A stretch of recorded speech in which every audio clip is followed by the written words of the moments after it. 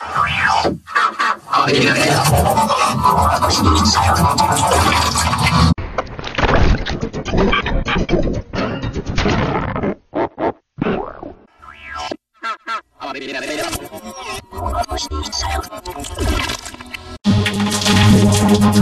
Thank y o e